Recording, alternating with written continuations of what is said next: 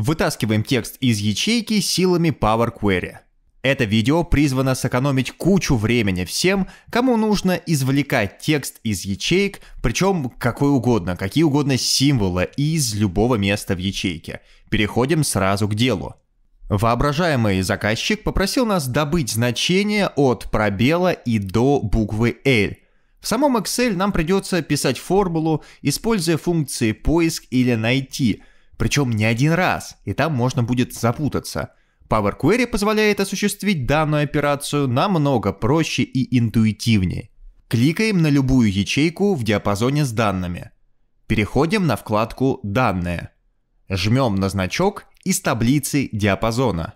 Excel автоматически определит диапазон таблицы и преобразует его в умную таблицу.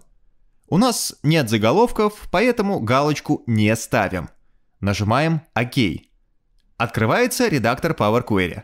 Наш столбец уже выбран, поскольку он один. Идем на вкладку «Преобразование», выбираем столбец «Текст», кликаем на «Извлечь». Затем, отталкиваясь от задачи, выбираем нужный параметр – текст между разделителями, в нашем случае. В появившемся окошке нужно задать начальный и конечный разделители. Пусть начальным разделителем будет буква L, а конечным – пробел.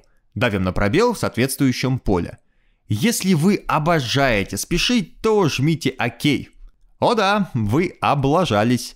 X12 это совсем не то, что было нужно.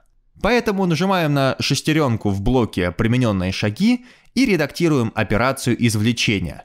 Открываем расширенные настройки. В поле «Сканировать в поисках начального разделителя» задаем от конца входных данных, потому что быстрее всего букву L мы найдем справа, то есть с конца. Число пропускаемых начальных разделителей – 0, потому что у нас только одна буква L.